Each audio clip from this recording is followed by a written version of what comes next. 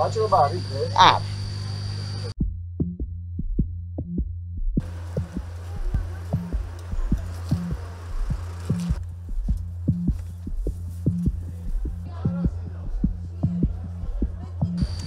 ვერ გამოდის ხალხი, ყველას მანქანა ხო არ აქვს, რომ მანქანით მოვიდეს, ტაქსებით მოვიდეს.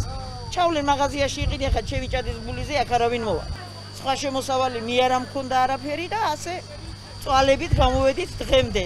დაწუხე რომ გამოაცხადეს, რომ ღია ბაზრები იქნებაო, სიხარულისგან სასვეწიე რომ გამოსულიყავი და მაღაზიები მყავს, მაღაზიები ისინი რო არ დამეკარგათ, თორე ამდენი წელია ჭადის ქვიზე მუშაობდა, ეს მოგროვილი კლიენტი ყველა დაფანტულია უკვე.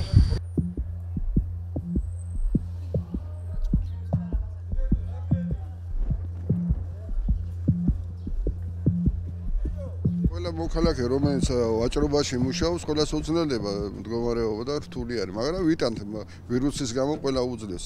თავარია გაუძლოთ ამ ვირუსს, რომ ყველაფერი კარგად შეაიაროს. ვაჭრობა ქონდათ დღეს? იყო? კი, იყო, მაგრამ ნაკლები არის, ხალხი ყველასე მაინც ეშინიან და ვერ ამოძრაობენ ხალხი. არ ვაჭრობ შვილო სად ვაჭრობ ხალხი აგერ კანტი უნდა დადის და სად თავისუფლად არ დადიან ხალხი თქვენი ერთადერთი შემოსავლის წყარო ეს არის როგორც. აბა რა არის შვილო როგორ იყავით მე ეს დღე? როგორ იყავი და ძალიან ცუდად. როგორ ვიქნებოდი სახელმწიფო გვეხმარება ამას კითხვა რა თქონდა შვილო